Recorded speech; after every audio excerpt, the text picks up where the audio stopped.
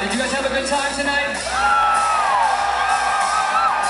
Thank you for coming out. Thank you for coming out and proving to us, all of us, that there are still people who give a shit about good music and good bands like Four Years Strong, Bad Religion, and if I do say for myself.